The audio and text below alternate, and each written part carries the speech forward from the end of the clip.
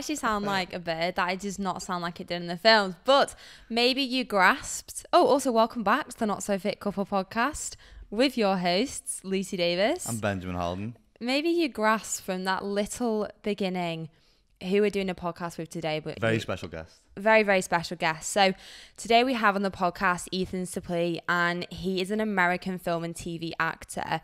He's best known for his roles in the films American History X, Remember the Titans, The Wolf of Wall Street. So hopefully you can gauge why we're doing that.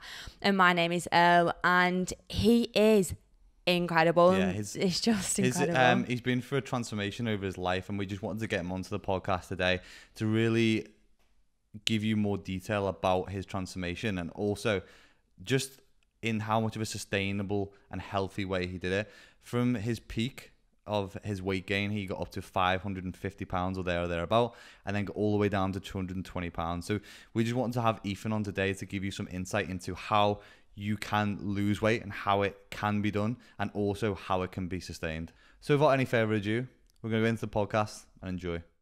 So, thank you so much for coming on our podcast today, Ethan. It honestly means so much to us because your story is honestly it's so inspirational and because me and Ben are very heavy in the fitness space, it it was it's just made a lot of sense for us for you to share your story with our followers as well as well in the UK. I think I think the biggest thing is is because of how transparent you've been so far of your story and talking to other people about it. And I think the main thing that people will take away from today's podcast will be the fact we know one of the biggest issues is when it comes to weight loss and with transformations is the sustainability afterwards. Like most people know how to, to lose weight and can lose weight, but then the biggest problem that we have as an industry is is then losing it. So I think one thing that people will take away today is an insight into how it's possible and how you can come from, from A to B and still manage to sustain that part of it as hard as that may be. So I think what I want to do, Ethan, if that's okay, is just kind of dive into first before we go through the weight loss journey sure. of how the other side of it came about, i.e., the, the weight gain, if you don't mind taking us back to the very start with that bit, if that's okay. Yeah, yeah, no problem. Thank you for having me, by the way. It's nice to talk to you guys. Um, I, the first diet I was ever put on by um, kind of the people in charge, I was five years old. And uh, honestly, it becomes very, it, it, becomes a tricky point, which I don't even really have solutions for today. I mean, I have ideals, but I don't know that they're um, hard and fast solutions to offer people. But it it it had the opposite effect of what was intended and um, you know i went from having kind of no idea about my body like I, I wasn't self-aware at all to having this sense of wrongness with myself that i didn't even really understand. I just knew that um, oh oh yeah this body i have this body which i wasn't i had never even thought about it in those terms before. And and then suddenly the idea was there's something wrong with it. It's bad. And it's and i'm going to get punished because my body's bad and that kind of um, you know and i can't say that i wouldn't have gone this direction anyway i have no idea but uh, but i did just continue to gain weight because i i got very good at lying and and sneaking food and eating privately from a very young age. Um, and, and really, um, the minute I was told I had to exercise, uh, not because I was a kid and I enjoyed being outside and, and being active, which I, I had prior to this, but because there was again something wrong with me and this was now a punishment, I stopped having any interest in doing it. And, and the minute I was told that um, my food was going to be restricted, not because, you know, we discussed it and I got on board with some idea of having a healthy body or, or having some kind of even a, a vain aesthetic goal, which I'm more than happy to have today. Um, that I could participate in with my own determination. It was there's there's this wrongness about me, and as a punishment, I'm going to be put on these various and sometimes like truly crazy. Like we ventured into like um, n- nothing that you could say was like abusive, but like absolutely batshit crazy nutritionists who were yeah. doing things that like and, and and I today try to be very open with like anything that works for anybody is valid, I mm-hmm. think. And if you have a winning formula, I'm not going to discount it. But even with that perspective, some of the stuff that was kind of foisted upon me as a kid was batshit nuts. Sorry, am I allowed to say shit? Yeah, You're allowed yeah, to swear. Yeah. We do it quite a lot. I might have to say shite for you guys to, shite, to, yes. to feel comfortable. But, if there's any, like, any point where we're talking and you don't quite understand our accent as well, please just feel free to sl- tell us to slow down. I'm so glad we're doing a video Zoom because I'm watching your guys' lips as you talk, just in case I miss anything. And feel, you know, the same for me. I'm sure my accent's nuts too. Yeah, I love it. Yeah, I think what we're going to do as well for people who are watching on YouTube, we'll probably flash the two images up. They're really symbolic images of of your transformation as well, Ethan. Because I think at your heaviest point were you like 550. Yeah, I, the, the, the heaviest I ever actually saw myself on a scale was 536, and it was on a, a, freight scale, like a shipping scale, because they that, at that time, you know, this is also I don't know what it's like over there, but here there's plenty of obesity now. But mm. you know, um, 30 years ago here, it was kind of rare. So there were no scales at doctors' offices that mm. went that high. I don't even know if that exists today in doctors' offices, but they kind of went to 350 and then i remember they jumped up when i was a teenager to like 400 and even then i couldn't weigh myself on these scales so there was uh, one point i went into a, a, treatment center for for for drug abuse and um, and in order to during intake they had they, they had to weigh me and and we had to find a shipping center that weighed like big crates and boxes. And and i was 536 and uh you know also I was the only guy who was addicted to drugs who continued to gain weight. Like I didn't even get that as a benefit, unfortunately, which I always had in my mind. Like, well, I'm going to do a bunch of drugs, and dr- drug addicts are thin. It never happened for me. Mm. And then I continued to gain weight for a little while after rehab.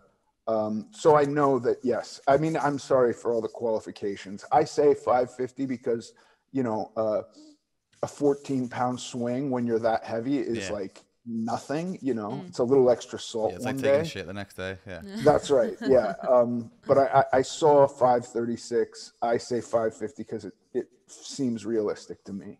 Yeah. Well, I'll, I'll pop those um, two different images on screen anyway so people can see because it's it's not it's not just like a, a weight loss transformation like on the end image of where I'm guessing like you had a photo shoot like you you look saucy as well like you you've you've you've gone past that point of like just losing weight, and obviously you started to lean body mass, you started to build a bit of physique, and, and you've really took it like that extra mile after you've you completed that journey. But I'm glad you touched upon the whole obesity part as well, and how like I suppose I've never really come across like any scales which would weigh that heavy. So I guess like we're not set up to, to deal with that kind of like scale of obesity. But I think that's only becoming more and more apparent as we move through. Like the obesity since like 1975 has tripled.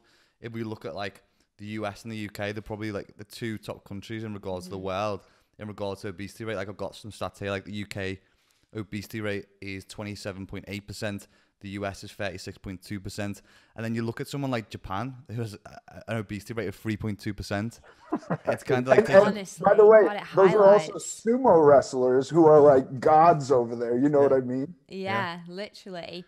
So it just goes to show like the lifestyle base of how how how much we can pin like obesity on and how crazy it's getting? And the the financial strain that it's having for, for us in the NHS is is massive. It's billions of pounds every year. And I know for the US it's like 190 billion I think it was it's like 21% of the medical spending. So it's crazy like how much money it's it's taken up and how it's predicted to only get worse I suppose with scale as well yeah, yeah, definitely. And sorry, just on those, I had a question to ask. When you were at your heaviest, so say the five fifty pounds, I I guess like how did that affect you as a person, like physically and mentally, like your everyday life. Um, I know I've listened to one of your podcasts for it was brilliant. It was actually on YouTube, and you're explaining about the nervousness about just sitting on a chair, which was like an obviously an everyday thing. So yeah, just a little bit about that. Yeah, it's it's a very odd thing to think about now because none of that was um, shocking or off-putting even because it happened over so much time and mm. it it was it was so gradual that it you know it took me breaking a chair at 10 years old to start to realize like oh i can't just jump down on a chair as hard as i want i, I need to ease into it right and so that just kind of grew you know and then when I think about how much pain I was in almost constantly, um, just sitting still became hard because of the pressure on on my back in certain positions and on my joints. I'd have to move to alleviate that. There, there's a ton of stuff that was not thought about at all, like pain in my feet, pain in my lower back, pain in my hips, not being able to lay flat when I went to sleep because I couldn't breathe.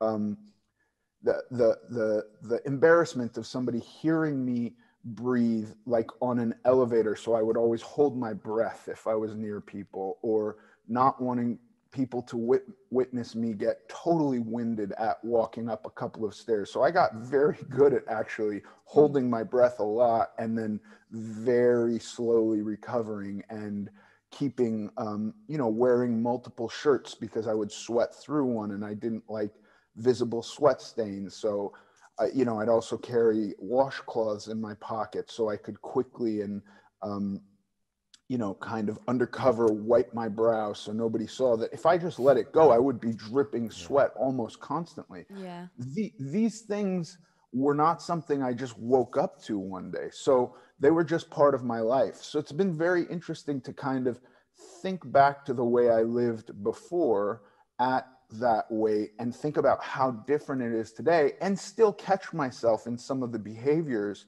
um, that I might not need to uh, uh, be participating in, like checking every chair, which I mm-hmm. still do. Mm. Um, and I and I'm probably at a weight now. I'm still on the bigger side. I'm still a very very large, heavy guy.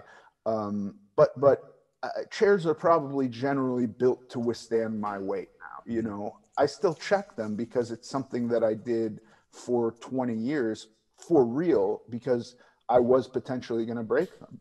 Yeah, so it's like psychological, like yeah, well, like a habit, isn't it? As well, yeah. it's like it's something you've done for so many years.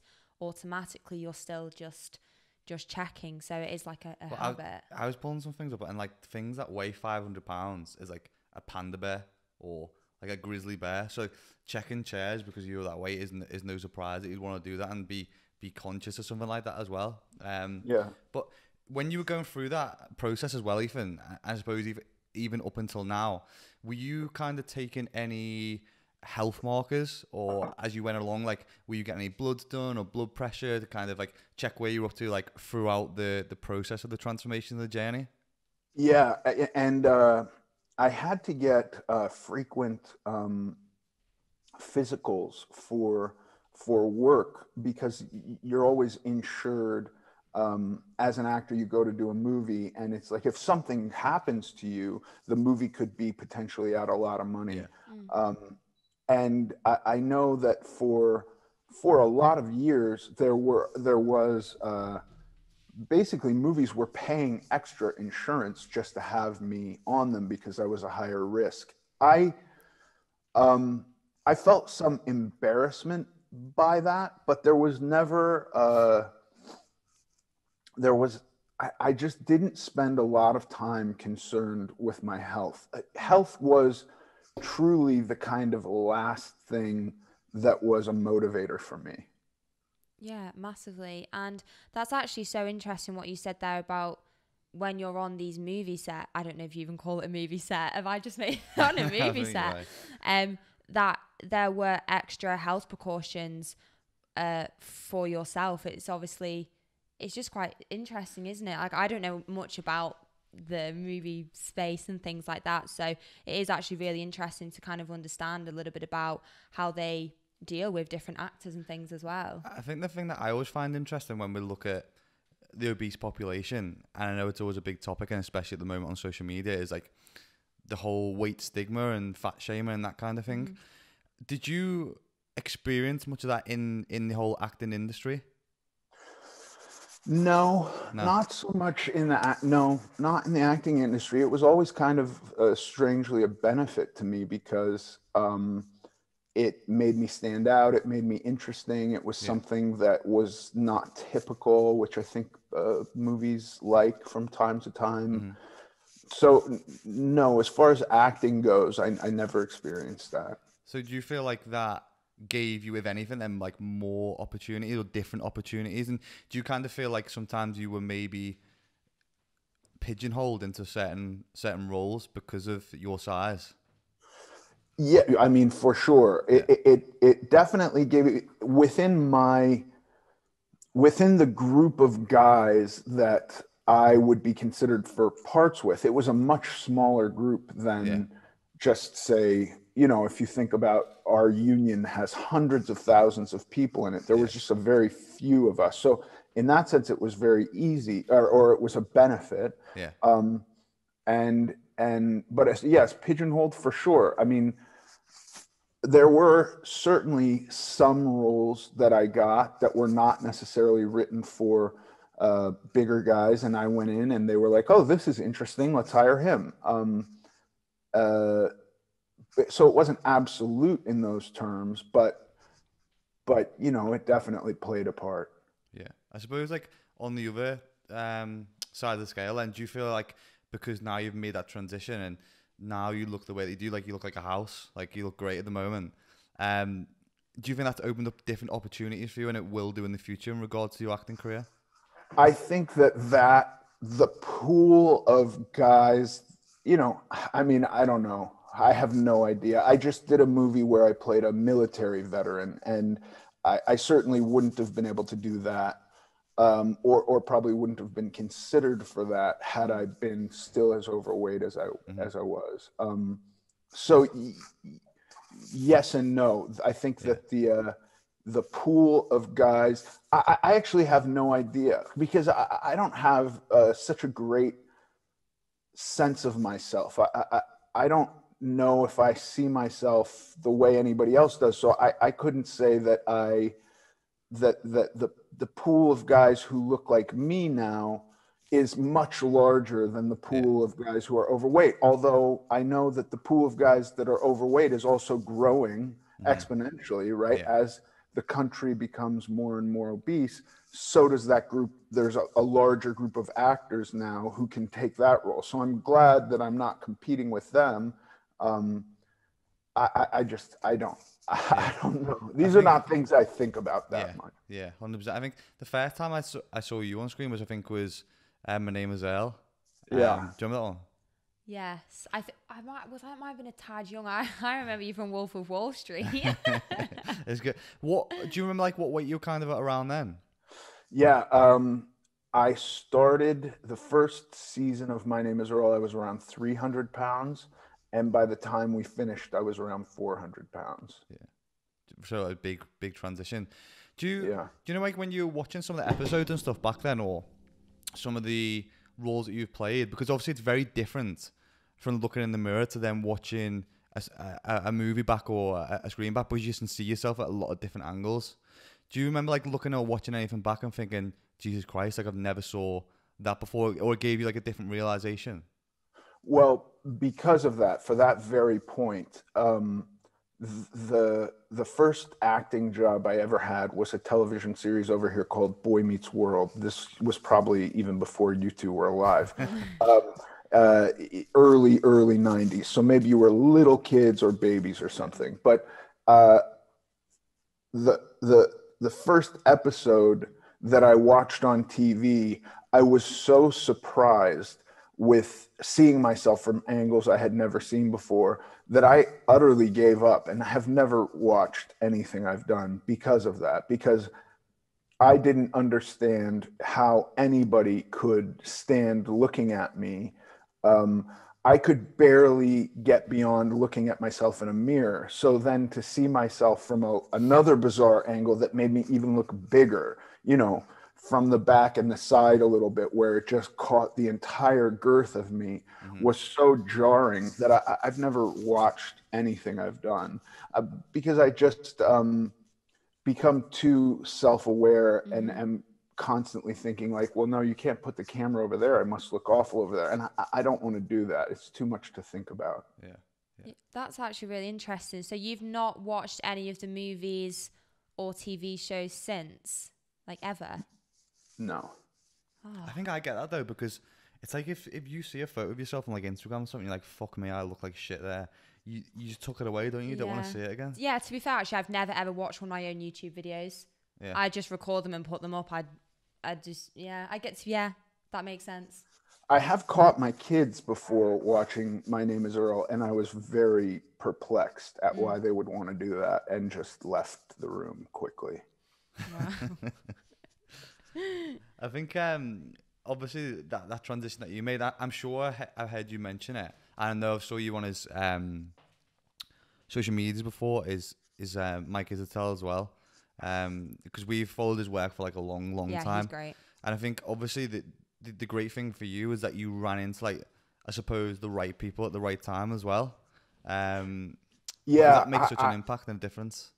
I there I there's no way that, that that is and going back to something you said in the beginning, the idea of sustainability for almost 20 years. I from the moment that I had the first uh, inclination, desire to start losing weight. And it wasn't something that was being imposed upon me, but it was a, my own goal. Um, there, there was no idea in any of these diets um, of what to do for the rest of my life. You know, there was a point where I guess I thought, you know, I'm not allowed to eat carbohydrates for the rest of my life. This is this is my burden to carry. I'm allergic to them. They don't react well with me. And so I just will never eat carbohydrates again or eat them like four times a year or something like mm-hmm. this mm. and expect massive weight gain. You know, on Christmas Day, I'll mm-hmm. gain 20 pounds and that'll be worth it. And then I'll work for a while to get it off. Um, all of that kind of extreme stuff did not last. There was no lasting thing. And it was really through Mike's work and and I got to give some credit to like um, Layne Norton also. Yeah, I was about to mention. Yeah. Great. Um, amazing guys, but and it wasn't even that I read something that made me go like, "Oh, I now know what to do." It was just on their programs where they would insist on maintenance periods um, in between fat loss phases that I I realized like it hit me like a fucking ton of bricks one day. Mm. This is how you live holy shit, this maintenance, like I never thought of it. It just occurred to me. And it was after having done it for a while. Like, this is what a fucking normal person does. This yeah. whole thing, I'm still on the plan. I could not believe it. And that has been the most life changing thing because I, after doing it for a long, like I can do any diet you want to give me 350 calories a day and tell me I'm going to do this for 30 or 60 days, I'll do it. I will crush those 60 days. I'll feel awful. I'll be lightheaded. I'll be my vision will be disappearing when I stand up. I'll be cold the whole time like but I'll get through it. On day 61, that's it. I'm now gaining weight.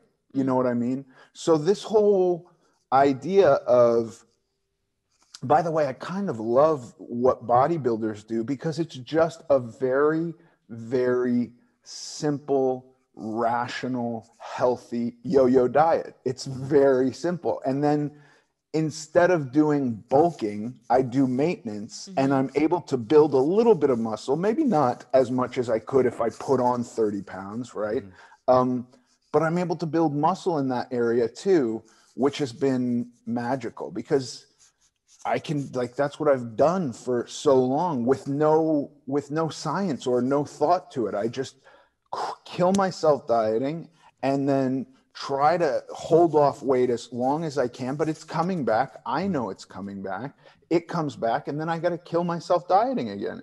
And the diets that I've been on, when I follow programs like Mike's, Mike Israetel's and, and Layne's, they're not hard. They're the easiest diets. Like I, I um, my my coach right now is a guy named Jared Feather. He's one of Mike's students. Mm-hmm. Um, he's a professional bodybuilder, yeah. and the the picture you're talking about, he coached me to that picture, um, and towards the last week, um, he got concerned about my hunger and he was like, Are you okay? Because we're really, this is the lowest calories we've had you on in a year. Mm. And I was like, This is nothing. This isn't hard. I'm not even hungry. Yeah. Like, this is not, this doesn't seem like a diet. We're cheating, yeah. you know? Um, it's all so much easier.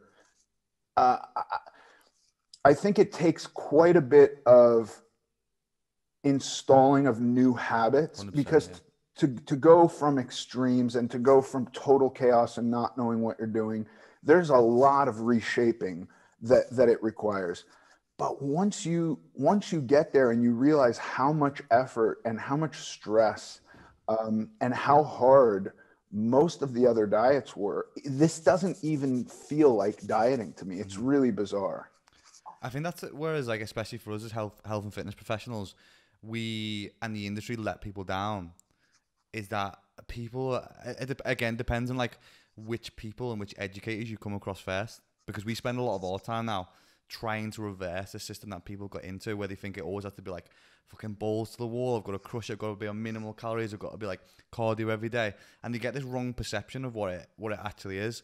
And breaking down those psychological barriers of, of being like, right, okay, now we need to take a diet break now we need to get you back to, to maintenance calories for a little bit to make this more sustainable. It is quite often quite a hard psychological battle to get over with people. But i feel like often the thing that's quite hard for people and we've discussed this in a previous podcast is the term maintenance for some people just like it's not sexy. It doesn't like symbolize progress. So it, it, it's difficult for people to get them, them the, their head around a lot of time. But when they do it makes that process so much more um, sustainable as well. And there's a, there's a study that was just been literally released like two weeks ago, which you might be interested in if you've been looking around diet breaks, or you might have already seen it if you're working with those guys as well, called the ICECAP study, and that's on diet breaks as well, and just how that helps like um, suppress hunger levels, suppress appetite, makes the weight loss more sustainable. It's great for hormone balance, your metabolic rate. Like it just there's so many things to be taken away from it, and if sometimes you just take that step back and can really consider what you're doing. Because again, like we said at the start of the podcast, so so many people lose weight. The problem that we have is why aren't people sustaining it? Well, yeah, it's the it's the sustainability, and when you initially started your your weight loss journey, I guess what's there for you? I don't know. Some people have like a massive turning point in their life, or there's there's something that happens and it's like a flick of the switch. Did you ever have that, or did you just suddenly think, for yourself you've got to do it was there like a trigger uh, there, there was a moment where um, i'm married now i have four kids they're old they're probably some of them are your age and mm. and there was a moment where i was looking at my life before i was married but i was seeing this girl and i was thinking like um, if i want to have a, a, a long-term relationship with this woman she was a girl. We were both kids back then, mm-hmm. but but there's not going to be a future if I don't make a change. So there was that moment. Yeah. And then that followed 15 to 20 years of d- yo-yo dieting. Um, I would I would diet really hard, or I would start some you know insane exercise program um, and and there was a period for two years where I just rode a bike. I, I right after my name is Earl, I was 400 pounds, um, and I kind of was like, I don't really feel like working right now. I need to lose weight. What am I going to do? I started riding a bike. I got super into that to the point where for two years, 40 hours a week, I was just riding a bike to lose wow. weight, and and you know, and then I crashed my bike. I wound up in the hospital. I couldn't ride my bike. I gained a bunch of weight. And it was just this, yeah. like, you know, so it was a constant battle. And I, at one point, was totally resigned to like, I was even thinking, I'm going to map it out and I'm going to have like, you know, January through May will be my diet months. And then it'll be really strict dieting. I'll do super hardcore diets, maybe even liquid diets. And then, you know, uh, for the rest of the year. I'll try to I'll try to make it slow, but it'll be way back. And I, I just was utterly resigned to the idea that I'm going to be yo-yo dieting forever mm-hmm. because from what I saw is no matter how hard I worked to take it off, um, if I wasn't on a diet, I was gaining weight. Period. Full stop. And so the the turning point for me was being super determined to lose weight again. This was like maybe 2016. And I spent a year and I was looking at all this stuff, uh, reading about keto, and, I, and it kind of was like, seemed like, well, that's, a, I'm getting, I'm eating mostly meat. So that's got to be a lot of protein. So maybe that'll be good for muscles. And I wanted to have, because I, I at one point also got to be so skinny that I didn't like it. You know, when I was yeah. 200, I'm, I'm 260 today. When I was 200 pounds, I, I felt uncomfortably, mm-hmm. I felt frail. Yeah. Um, I also uh, got to 200 pounds and still wasn't nearly as lean as I am now, which was really weird. Um, so 2016, I decide like I'm gonna just do keto and lift weights, and uh, I was losing weight, but when I I wanted to like gauge it because I felt like I was just um, getting smaller kind of uniformly. Uh, none of my muscles were sticking out. I was just now smaller, which is to be expected to some degree. But I started having DEXA scans every three months. And what I realized was doing keto, first of all, if I wanted to lose weight doing keto, I had to restrict food. I didn't think about it in terms of restricting calories. I just knew that if I ate whatever I wanted, I would not lose weight, even if it was just steaks and avocados, right? And lots of olive oil. I wasn't losing weight. So I would then go like, okay, I'm just going to eat smaller portions. And then I would lose weight. And as long as I stuck to that, for every 10 pounds of weight loss, four of it was lean tissue. And I, and and that didn't really make sense to me, yeah. but I kept doing it for a, for a while and I was like there's got to be a way to like mitigate some of that lean tissue and that was when I discovered Mike Israetel, and and that was when I kind of went like, okay, maybe I'm not allergic to carbohydrates, and maybe I need more protein even than I'm getting on keto, um, and I kind of gave that a shot, and it the the difference was so night and day. Um, it was shocking how fast my body looked different, which was what I wanted. You know, it wasn't just I the number on the scale is great, but that wasn't necessarily the factor I wanted. I wanted to see my traps stick out. I yeah, wanted to see sure. a line in my bicep. What I ultimately wanted was visible abdominals, and I wasn't getting anywhere near that yeah. because as I lost weight, I was also losing muscle. And I didn't understand this because I was weightlifting every day, but I also had never looked at uh, progressive overload. So I was just in the gym going like today's chest, I'm going to go to failure yeah. every day, you know, or three times a week or something like that, or just doing like kind of mindless weightlifting. I can't lift it anymore. I'm done. I'm going to yeah. go do something else. Um, and when I started like applying, I also had an injury. I tore my bicep. Like I wasn't smart. I, everything I'm doing now, I'm, I'm, I feel like an old man and it can't be as extreme. I want to have uh, exercise I can do every day for the rest of my life. Mm-hmm. And I can for sure do progressive overload for the rest of my life. Like the, there's no, it's really become very easy.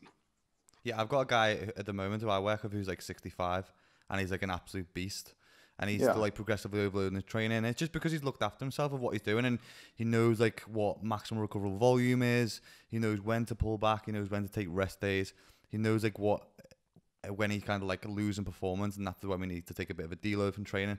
I think that's the the good thing, and obviously when you've been with Mike, is that I think when the focus a lot of the time becomes about building lean body mass and that's uh, a focus and a target organically a lot of people tend to just drop body fat anyway as long as they obviously diet and having that different focus apart from just like being drilled into your head like i must lose weight for a lot of people is almost like a psychological break and they could just have that target of focusing on training focusing on building lean tissue which is obviously a, a benefit for a lot of people i think the thing that i was i was going to lead on to next because i know you briefly just touched on it because momentum's a big thing, especially when we're looking at weight loss and we're looking at uh, through a journey. However, there's sometimes like a fine line between I know I've been there and you've been there mm. with when things become like excessive and you start crossing that boundary of like I need to.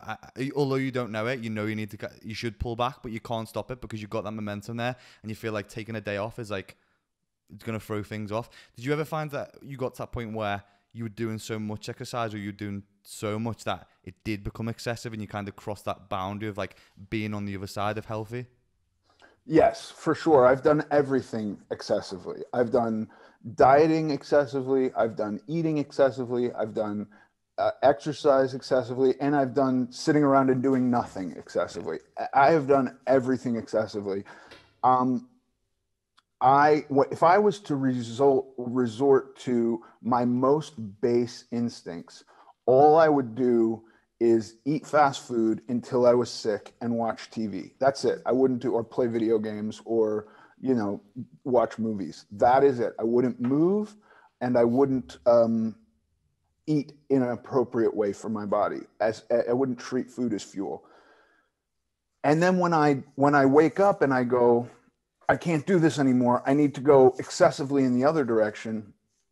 The the feeling of uh, anxiety to get the weight off as fast as possible and to punish myself and and it is so severe. So I, I understand, you know, you, you're mindlessly going through my life, gaining weight, not thinking about anything, and then I wake up one day and it's as though I've ne- I'm looking at myself from a different point of view or a different perspective and i'm like holy shit what's happening i need this i gotta like i want to take my body off like it's clothes mm. and change into a new set of clothes and it's like none of that is thinking long term so w- what i have to do now and it took a couple of years of practice is go this takes a long time. And I tell myself over and over and over again that I want to have this long term. So I'm going to set goals now for years and I'm going to set smaller goals for like this fat loss phase. How much do I want to lose? Okay, I want to lose roughly 1% of my body weight per week in fat. So if I'm going to diet for 12 weeks, how much is that for real? Like, how much weight is that? Um, I'm going to be really realistic about all of this. If I want to be able to exercise every day for the rest of my life, an important thing, especially when talking about momentum, is not injuring myself. Mm-hmm. Yeah. If I if I go 100% every day, eventually I'm going to break. Period. That's mm-hmm. uh, you know I don't think anybody can go 100% every day without eventually breaking. Or you start to you're you're 100% on day 10 is like 50% of what it was on day one. And it's like how you're not making progress. Um, so, with the idea of really stretching it out, I'm able to confront the fact that maintenance periods are training for if I ever want to stop doing this, if I ever want to, you know, I've gone on vacation a number of times with my family over this, and it's just okay. Now I'm on maintenance. Yeah. Now I'm yeah. front loading my meal with protein, lean protein. Um, I know what a cup of rice looks like because I've measured out a cup of rice ten thousand times at this point. So like, I can I can gauge it, and if the if the restaurant gives me two cups, I'm cutting it in half and I'm yeah. only eating one of them. You know what I mean? I'm getting steamed vegetables. I'm not covering everything in oil. I'm not eating cheeseburgers. But if I feel like a cheeseburger, that's okay too. Like everything has become about moderation.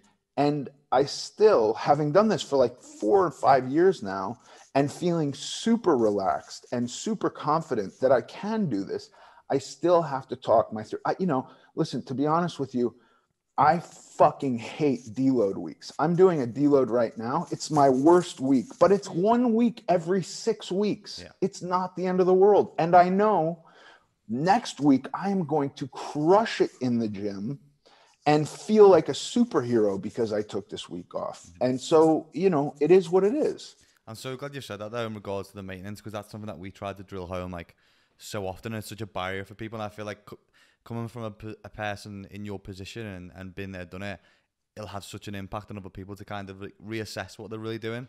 Because everyone's just looking for like how quick can I do it, how hard can I do it, how how how can I get down this, and there's no there's no balance at all with that. And yeah, through certain periods, like you're gonna have times where you'll chop back and you'll come back up, and it's like for a lot of people when they save for a house, there's gonna be certain like sacrifices you have to make to get to that certain point. It's the same with your diet, but you're not saving forever. There's gonna be those periods where like you can be at maintenance and you can bring the calories up, and you're not gonna put body fat on. I think that's when people start to realize that a little bit more. It's when we will really start to break through in regards to the fitness industry to help people sustain that weight loss over a longer period of time. And it also actually really sounds like you're enjoying the process now. When you first spoke about it at the start, you were like, I felt like I was forced to exercise and forced to eat these foods. Whereas you sound like listening to this podcast, you've had such a big mindset change. And even though those psychological food thoughts sometimes come back or thinking about this and that, like myself and Ben are the same, like we've both had a history of eating disorders. And sometimes now, four years on, some sometimes the thought process goes over my head. Not that I'd act on it, but you really honestly sound like you've you're in such a better mental state in terms of like you're actually fucking enjoying it, which is such a massive part to actually create that sustainability for you. Yeah, it's I I can utterly sympathize with everybody who who wants to have quick results. I want to have quick. Who doesn't want to have quick results? Mm. Um, I have a wife and four daughters, so I also know sometimes somebody starts some program and I'm like, what the hell? What is this crazy Yeah. thing you're doing? that maybe I did when you were two years old, but you Yeah. can't remember it. Why are we doing that? And it's like, no, I just want to fit into these jeans for this barbecue on Sunday, and then I don't care. And it's like, okay, do your crazy thing for Sunday. Fine. I'm not going to get down on you, whatever. I, I think the magical place to catch a person is when they're in desperate need of change and and they're willing to just turn themselves over to you and go i'll do whatever you Yeah. tell me to Mhm. do and then it's like okay let's have this conversation about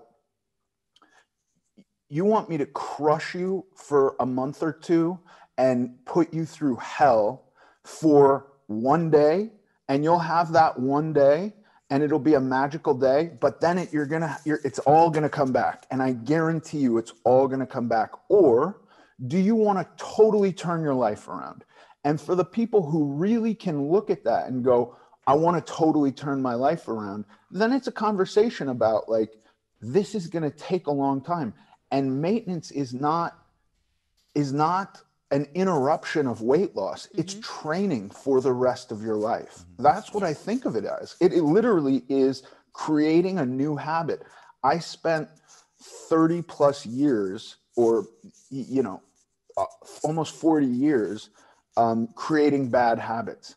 I'm not going to undo all of Yeah. those in a month or two. It's going to take a lot of work and a lot of effort but it can be done and and it's going to actually be easier than you think Yeah, hundred percent. I think what what gets a lot of people with that is, especially when it comes to the quicker weight loss, and it's such a, a killer for most people, and it's a killer for most people's joy as well.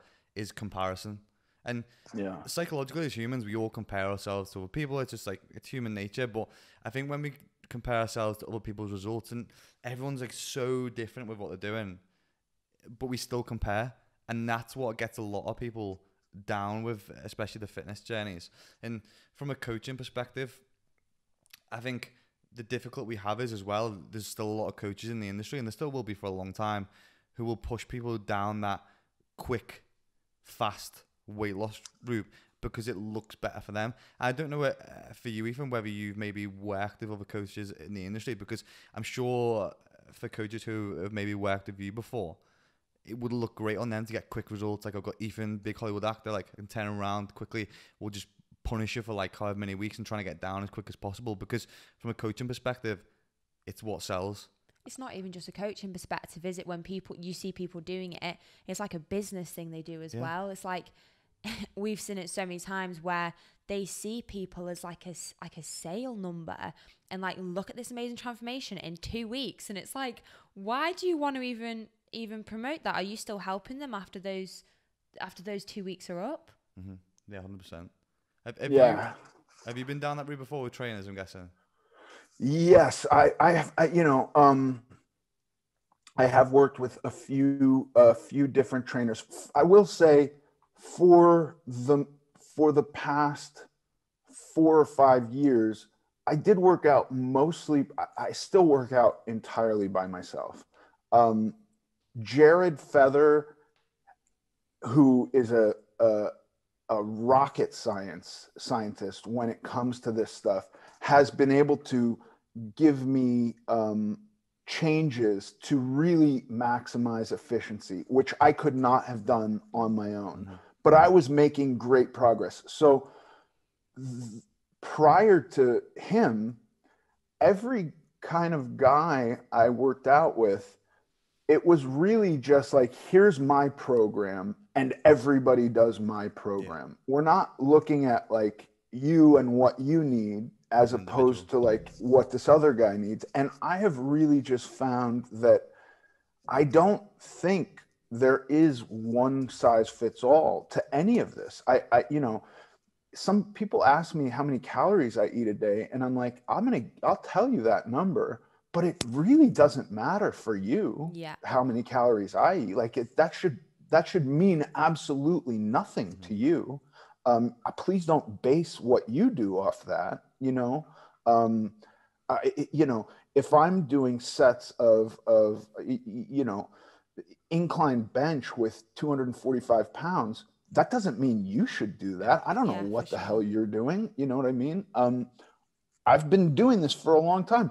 I don't even think that's heavy. Like that for me is pretty light, Yeah. but I can do it four time four sets of 15 reps or, or whatever. You know what I mean? That's the reason that it's that number. What can you do, you know, to build up and and eventually in week five be going to failure and stuff like that? Like it, it- so the, the the guys that um that I've seen who are just like everybody does this, everybody eats this way, everybody works this way.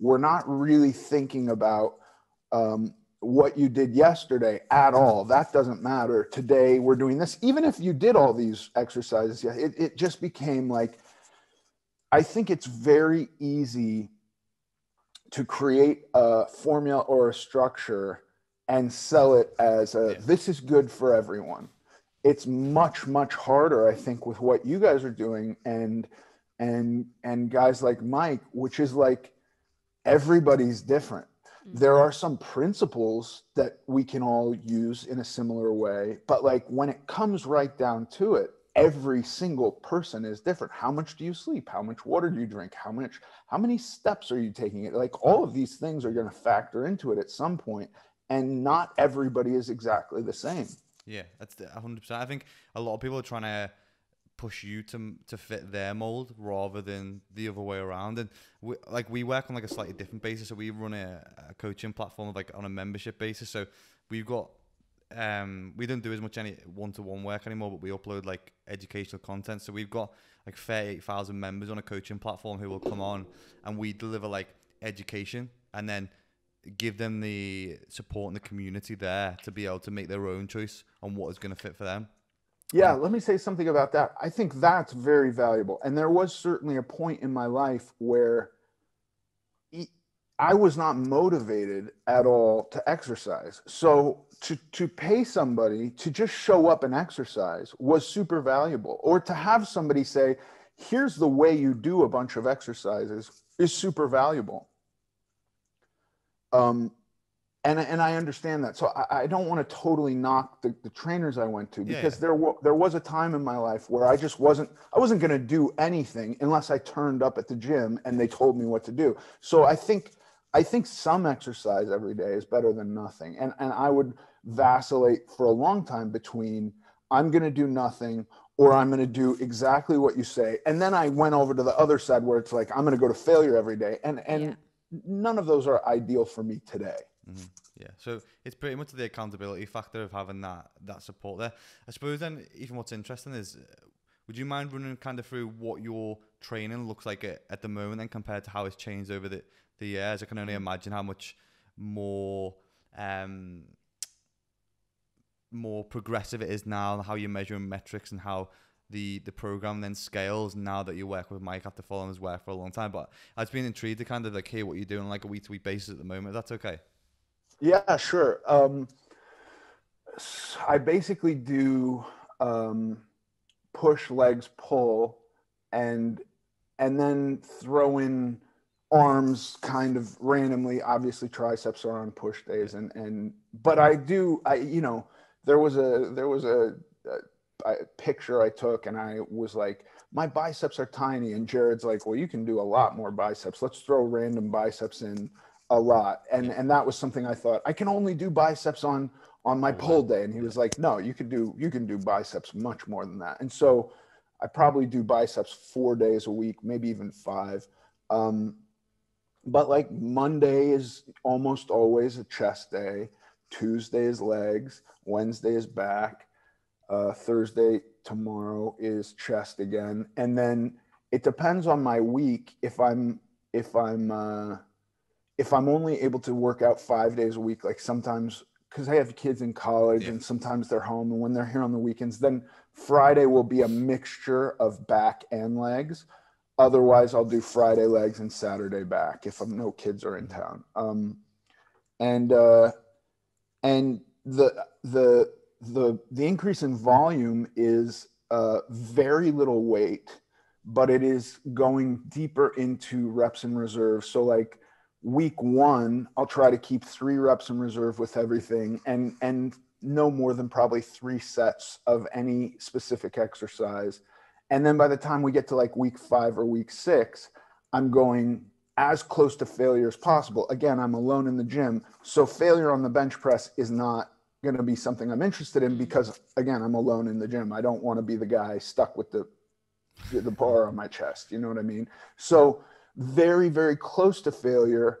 Um, I will do bicep curls to failure in that week. Uh, I will do stuff on machines to failure in that week, but only in that week. Um, you know, I'm, I'll happily do leg press to failure, but I'll never do heavy squats to failure ever because I, I don't really need to do that. Um, that's basically the evolution. And then I deload and I'm kind of like not the most enthusiastic for the week, but I but I understand it and I'm like excited about next week. Yeah. I that's think, well, yeah, I'm sorry. That's just so interesting because obviously you've educated yourself massively. It sounds like over the years in comparison to what you were doing. Now being like, okay, I know what progressive overload is. I actually know how to build lean muscle tissue. I know exactly what I'm doing, and it is obviously something we're really big on is yeah you can give someone a diet and how to work out but if they're not actually educated on how much protein to have what progressive overload is that's where the sustainability comes from as well being able to maintain something by just actually knowing what yeah, to do. 100% I think, that, I think that's the thing with training and, and we had um, I think we seen what you probably have done with Mike. We had Brad Schoenfeld on like a couple of months ago. He's a really cool guy. He's so clever. Yeah like some, some yeah. shit just like he kept saying stuff and I was like oh yeah what does that what does that mean? Yeah. yeah yeah I talk to Mike a lot Mike Israetel a lot too and and I'll just kind of be like I'm sure those sciency words are yeah. awesome. Yeah. I don't know what they mean. Yeah. As long as you, you get know. a good bicep pump and a good chest pump on chest yeah. day, that's that's, that's it. That's all I care about. yeah, I think that for for a long time, I had like ambiguous ideas of what I wanted from my body, from my training, from my diet. For for for a long time, it was just I want to lose weight, right? And then I, I found it really is not hard to lose weight. I mm-hmm. can lose weight. I, I suffered, I was in such a state of, of uh, physical discomfort and mental discomfort for so long, eating however I wanted, that the idea of a short term physical and mental discomfort by dieting is not such a big deal to me. Um, I can kind of do anything for a couple of months. Um, but then it then it became like, is it possible to have something long term? I never. I always thought lifestyle change it, made my skin crawl, but mostly because I didn't really understand it. I thought a diet is lifestyle change because this is not what I was doing before. This is different. But I, I you know, it took me a while to realize that if you if you actually diet forever, you die because that's what happens. That's mm. famine, you know. That's the end result of implementing a diet forever.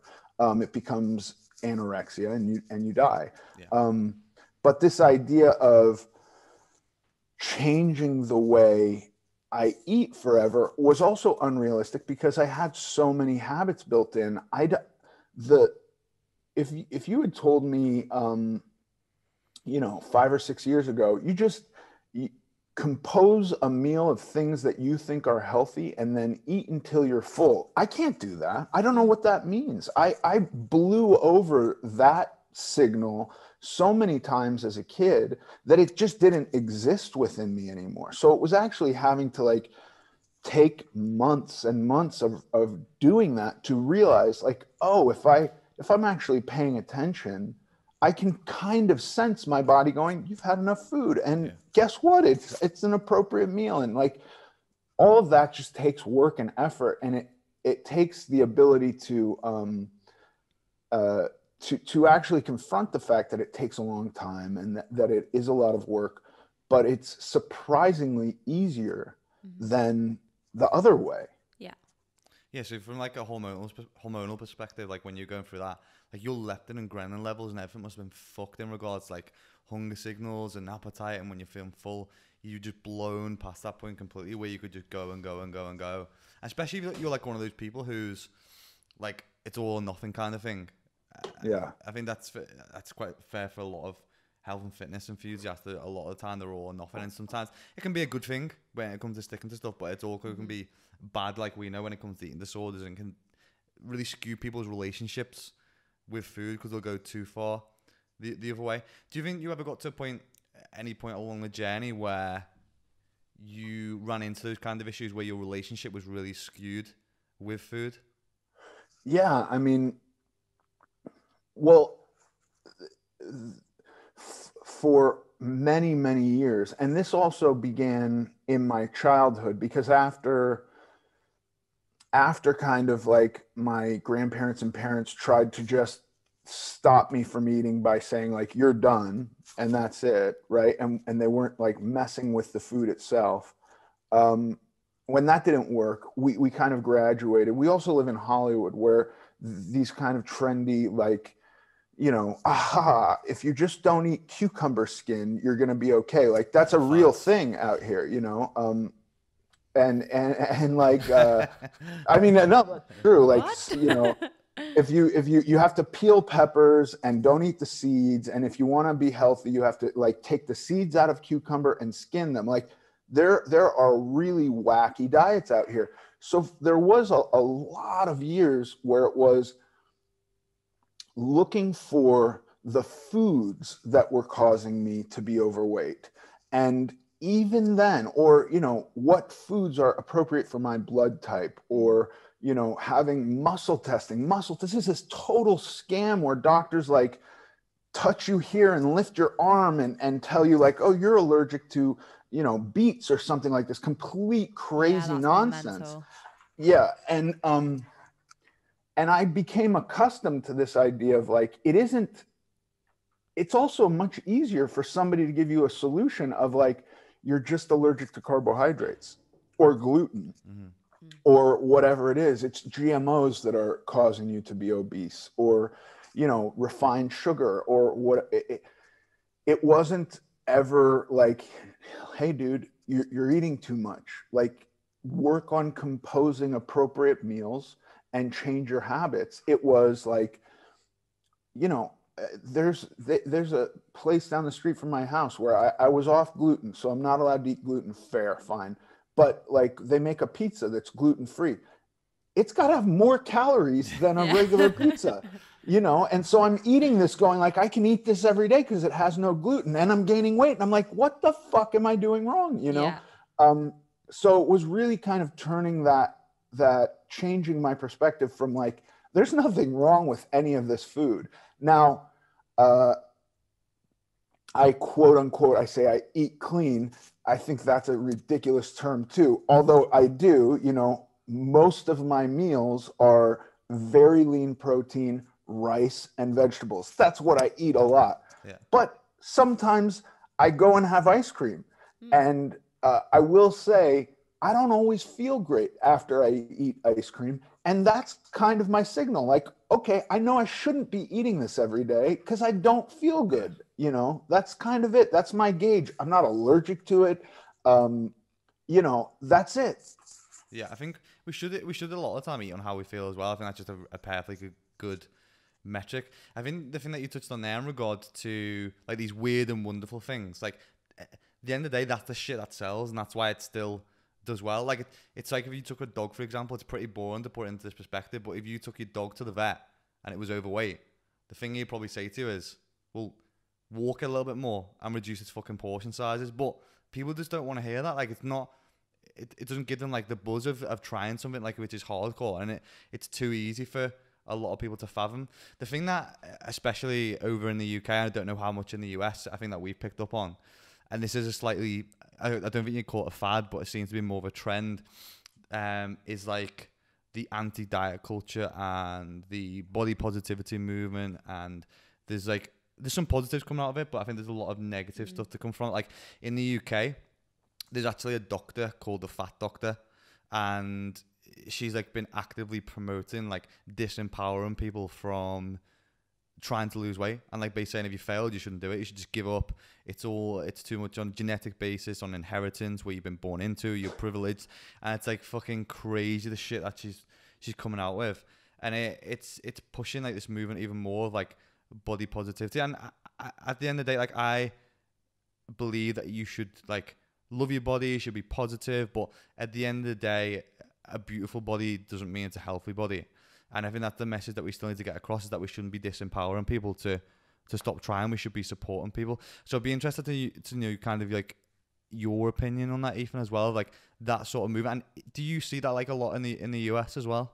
Oh my God, yeah, it's Yeah. it's it's it's wild. Um, I have a slightly nuanced idea on it because at the end of the day, I I don't think anybody should be doing anything that they don't want to be doing. I Mm. think that for me is a a point of of almost guaranteed failure. If you're being forced to do something that you don't want to be doing, I, I don't see this as working.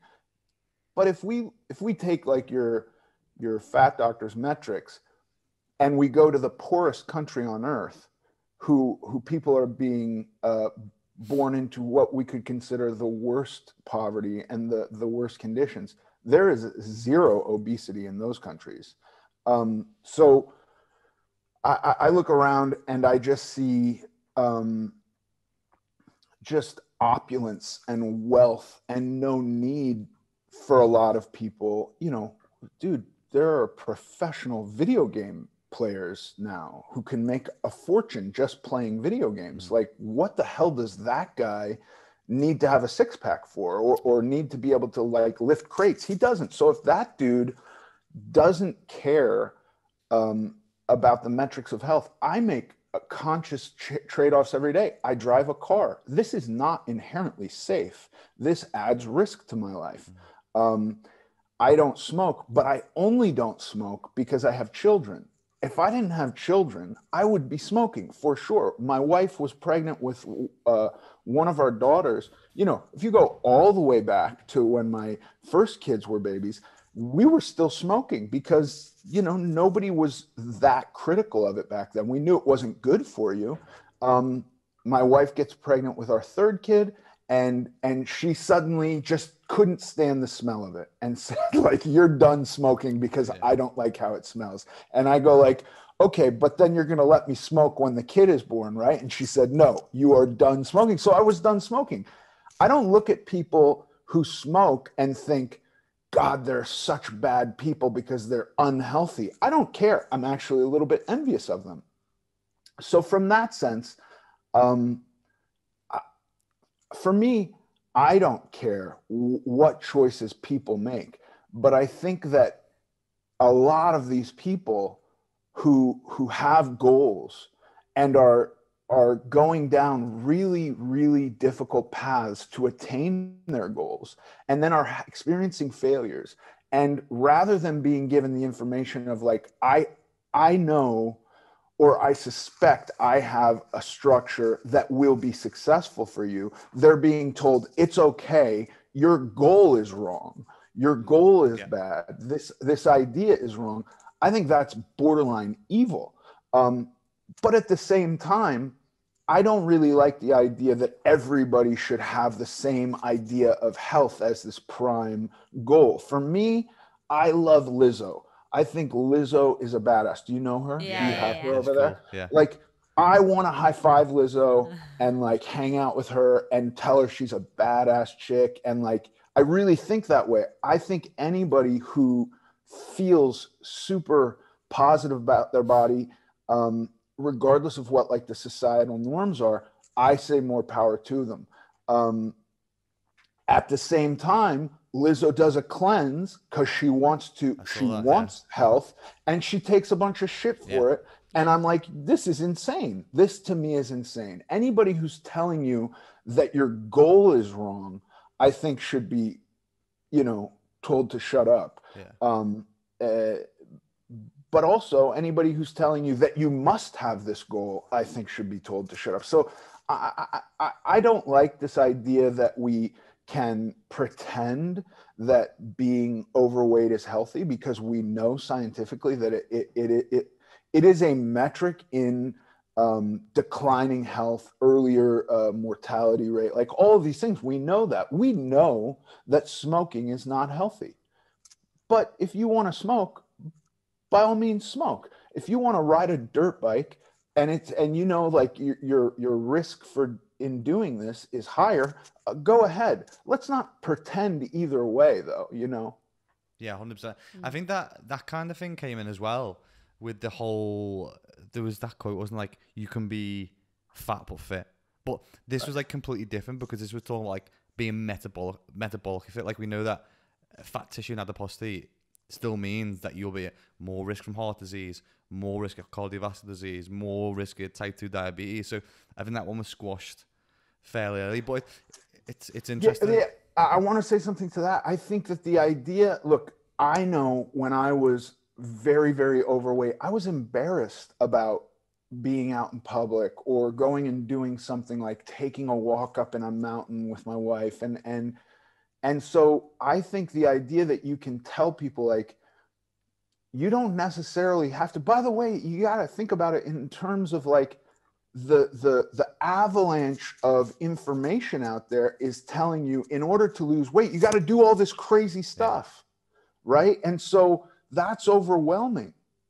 And so to be a fat person who's looking at it and going like, God, that just seems so exhausting and so hard and there's so many failures i don't want to do that and then to have somebody come along and go it's okay but you know you can be fit and overweight too. You don't have to make all these drastic go for a walk. Go outside. It's okay. People let's cut these guys a break. No fat shaming. I'm all for that because the truth is your health markers are going to improve if you live a, a more active lifestyle. Mm-hmm. so like and then we have yes it all becomes super convoluted. At, at some point um, you know we live in a day and age and in in both of our countries are so wealthy that there's so much less absolute demand for survival by using our bodies you know um, the guy who's out there doing construction and super active every day has more demand on his body than the majority of people in the workplace mm.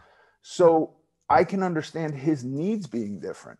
Um, I, I just, I, it, it, it, it kind of crushes my heart when, when people are, are arguing that we should all be fat and that they're and that you know we're not looking at like it's not poverty in a, in America that makes people fat it's wealth Yeah. this Yeah. is the opposite Yeah. of what they're saying Yeah, I think I think it's so right what you just touched on there because I know the thing that we spoke to uh, people a lot about is that like weight stigma and stigmatization of that has absolutely no place whatsoever in in the fitness industry because we know like from studies that have been done it, it crushes people's confidence, self confidence, motivation. It doesn't do anything to help people who at the end of the day they're there to try and they're trying to better themselves. So that person who's there to put their arm around someone, say it's going to be okay, we can focus on this, do this.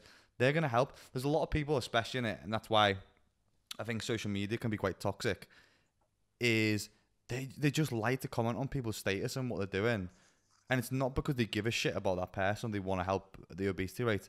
It, it's just from like a different narrative, and it's that kind of weight stigmatization, which at the end of the day is is putting so many people off from joining gyms or starting something or speaking to an individual who might be able to help them because they feel like judged all the time. And I think that's so hard for so many individuals. I'm sure it, it was probably a case for you, Ethan, at some point in, in regard to, to feeling judged, as you said, like even going out in public sometimes. yeah I, it took me a while before i had the confidence to even walk into a gym and um and then i was still embarrassed like i didn't know what i was doing and i had a trainer to tell me what to do but you, you look around and there are there tend to be more kind of fit people in gym in gyms than than out of shape people. It can be a lot. Uh now today if i see anybody who looks new at the gym i make sure to smile at them. I make sure that they feel welcome. I think that's an important thing to do um, because ultimately you know we were all there at some point. Nobody w- walked into a gym or started working out with the body of an adonis. It took work. It took effort you know? So so i i, I just think that um i think both sides uh need to be a little bit more or a little bit less authoritative. Like this fat doctor you know telling people that their goals of, of health or weight loss or vanity or whatever it is whatever an individual's goals are are wrong or trying to create some you know complex mental maze that you have to do gymnastics through to understand um, and to why they feel that they want to make a change. Look dude my back hurts uh, hurt my, my knees hurt. Uh, i was physically uncomfortable. That's not enough of a goal that i just want to change that. I I- no no i I- i wanted to change because of patriarchy and and you know racist society telling me that i had to this is nonsense to me. And this is the thing as well. I feel like, and this is the quote that you always use actually, that prisons don't work and punishment doesn't work. Like the reoffending rate in the UK is ridiculous, isn't it? If you've if you've come out of prison, and it's the same with fitness. Like by punishing people and saying, "Don't do this, don't do that," fat shaming, it is not going to work. They they don't need to hear that. They need positive reinforcement. They need to know Yeah. you're doing so well. Keep going. They don't need you're fat, fuck off. Like you wouldn't ever say that to someone. So it is, and I've definitely seen on social media that the stuff that comes out of people's mouths on social media can be so toxic. Whether you are trying to gain weight, maybe like I've had it when I was had my eating disorder, awful comments. Um, whether it's for people who are losing weight, punishment doesn't work and it, it won't ever work in that sense. Well, as as human beings of our own psychology, the way that like we're motivated to do stuff is not to avoid punishment or avoid the negative. It's because we want like that reward. We want positive mm. reinforcement for something. So that's why like with stuff for cigarettes for years, they've been putting on the back of smoking will kill you. No one gives a fuck. People are still smoking all the time. It's like they're not bothered about avoiding that. They want the reward from it. Mm. And it's got to be the same with health and fitness by stigmatizing it and telling people you're a piece of shit. Doesn't help anyone. If anything, it has the complete opposite, effect. And it, it's Yeah. funny that that thing, same thing with smoking because it's, I, I compared it to some with someone the other day in regards to the stigma with obesity and, and weight. And there's a lot of even from like a medical side of GPs and stuff as well, which has been published recently. And it's so different to when you look at those with health implications from smoking. Like if you looked at someone who had cancer because of smoking, I feel like the stigma is way different when you look at someone with who's overweight and has got medical conditions because of that. And the, the whole term of obesity has just such a negative association. People like to point the finger in different ways at someone who's maybe obese and someone who's got cancer from smoking. If that makes sense. Yeah, yeah. I mean, uh, there's there's many people who wear their um, their state of unhealthiness beneath the skin that we can't see. Yeah. Too. You know, we Yeah. could. There's so many metrics for this. There's you know you could have a, a, rather thin alcoholic who has fatty liver disease and sclerosis, sclerosis of the liver and we don't we don't see that yeah. that's nothing we can see you could have a guy who's you know got super high cholesterol and is borderline you know to have a heart attack every day we don't see that but we see obesity it's so objectively right there mm-hmm. that i think it's a it's an easy thing to kind of like point at and and you know for sure i think we should as a society do better but we shouldn't pretend that it's healthy yeah 100%. that the two things Agreed. i don't think are mutually exclusive yeah so we shouldn't be glorifying it basically i suppose it, yeah. It, with that ethan as well don't mind me asking there's with weight loss there's obviously a lot of reversibility in regards to certain conditions and symptoms have you had any long impact and effects from that um, stage where you were maybe your heaviest weight and coming down uh, not not as far as like cardiovascular or or or metabolic. I'm very very healthy in those right. terms. I still have like some foot and ankle pain that I'm sure is just because I was carrying so much mm-hmm. weight for so long. But um, but but no, my blood is very very clean. I've had many you know deep uh, stress tests and ra- nuclear stress tests and and EKGs and all of this, I've I've got a very good, clean bill of health. Yeah, cool. That's great to hear. I think uh, yeah. that's no surprise at the end of the day. Like, if every time you stand up, you're basically squatting like 500 pounds of walking, like, imagine mm. walking mm. with that much weight on a fucking bar. Like, Five, 500 pound squat is, what's that in kg? That's like 260 yeah, about, kg. About 220, 210. Oh, 220 kg still. It's a big, it's, it's big numbers. Big there's, there's no surprise it's gonna have an impact on the joints and stuff eventually. I suppose though, for you and your fitness um, journey, then Ethan, what is the next step for you, and like what does the future look like for you in regards to your personal fitness journey? Um, I just want to get, you know, I want to edge towards uh, th- this kind of weight that is like as lean as I as, as as kind of lean as I can get that I still feel um, comfortable was around 255. Um, and even that, I look at the pictures and I'm like, I'm a little small. I look a little small. So I'd like to um, work to get to, to, to be that weight, but leaner. So, you know, this is a long process. If I put on four or five pounds of muscle this year, I'll be very happy. So if I can get to 255 and even um, I think the the the last time I was nine percent body fat. So if I in a DEXA scan, if I can get to 255 and be eight percent body fat or seven percent body fat, um, that'd be pretty cool.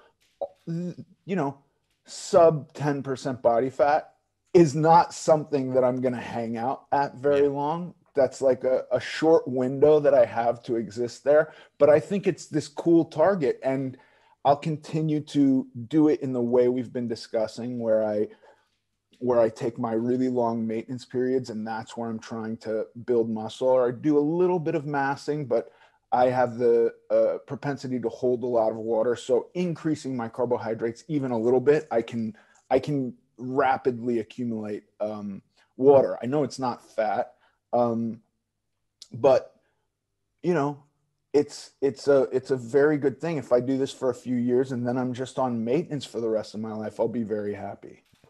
I think it, it's um it's just so like refreshing to hear from someone yourself in the, in the position of authority and the experience that you've been through to it being such like a sustainable way and put across like that. Like we hear so many other people and especially celebrities are pushing stuff in different ways. I think it's just so re- refreshing to hear that from your point of view um, that you're doing it in that way. And at the end of the day, we all have different goals. Sometimes we want to like slim down and get as, as lean as possible. And then sometimes you just want to get to a point where your neck's eating your fucking head because you just, you just, you just want to get big and saucy. But that's what I want. but um, I suppose just finishing off with that, then, Ethan, where, what is like the future plans with you and your career moving forward as well? Then, do you still see, very much in acting? Because I feel like with, with the direction you're moving at the moment, I feel like you have a very big part to play in in, in, in fitness, fitness, and health and in general as well. And the message you you were pushing is like so powerful.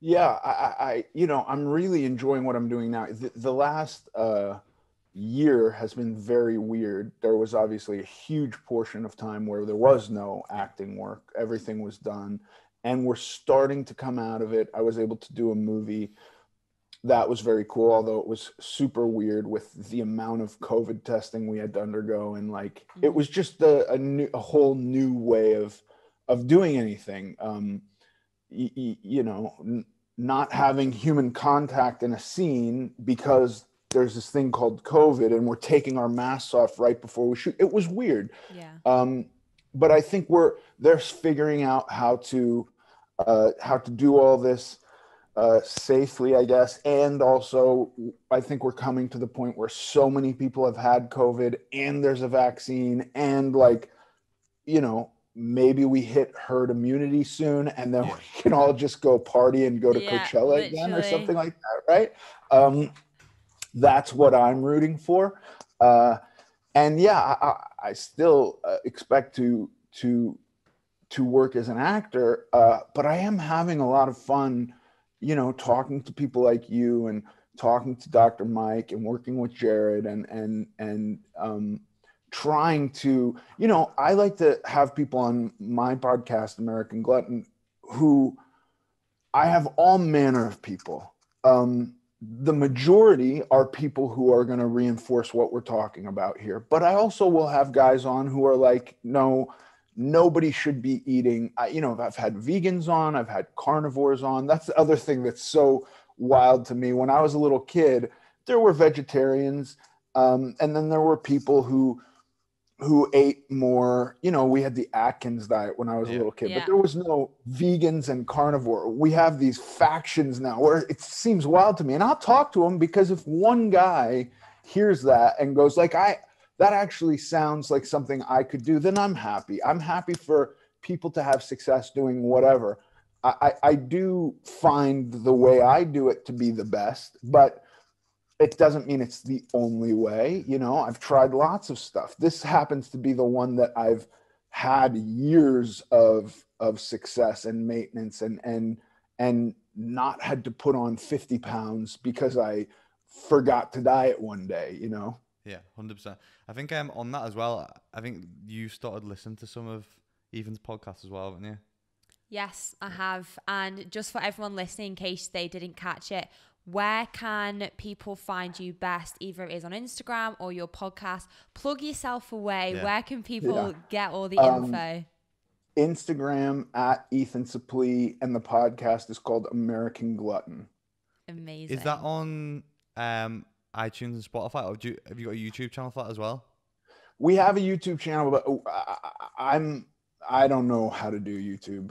Listen, I barely know how to do any of this shit. So I, I just like I go to a studio and I talk, and then they do something. Yeah. But uh, we do have a YouTube, but I don't know. I don't know if there's anything on it. But I know yes, Spotify and iTunes. Cool. Yeah. Well, you, you can find more of you from there, and I think there'll be a lot more uh, in regards to your message and more people will be able to dig into. And I'm sure we'll have some some awesome guests on on there and stuff as well that all, all listeners can definitely tune into and, and take a lot more away from from your message and see how your journey is going to evolve over the next few months and next year or so as well. So definitely recommend people pop over to there. Yeah, honestly, your journey is very unique, but I also think it will help so many freaking people. Like a lot of our listeners, like we are completely worldwide, but obviously very UK based. And we do work with a lot of people who are overweight or are obese and they are struggling. So, hearing your story and how you've overcome it in a really, really positive way, not even just your journey though, but like the fact where you are now, I think it's so important. Like, you have balance, you have sustainability, you have enjoyment. It will be so nice for everyone to kind of I guess see a light as well at the end of Yeah. the tunnel. Do you know what I mean? Like see a light at the end of the tunnel. It's not all it's not all bad. You won't always feel like this. So yeah, we massively, massively appreciate having you on. It's it's really, really been eye opening and incredible. Thanks for having me, guys. I really appreciate it too. Thank you very much. So, if anyone who is um, tuning into this week's episode, please tag me and Lucy on Instagram, tag Ethan as well, um, because we'll see your tags and stuff as well. It'd be great just to see you sharing the podcast and pushing the episode out as always. And please make sure that you leave a five star review on iTunes because it's much appreciated. Yeah, because we want to be number one Yeah. in We- the in the we need to move UK that next fitness spot up. charts. We don't want to, we don't fancy number two No. anymore. We want to be uh, you either winning or fucking losing. yeah, can go for it. literally, we spoke about that today, haven't we? So, thank you so much again, Ethan, and thank you to everyone who has listened and Bye, guys. tuned in.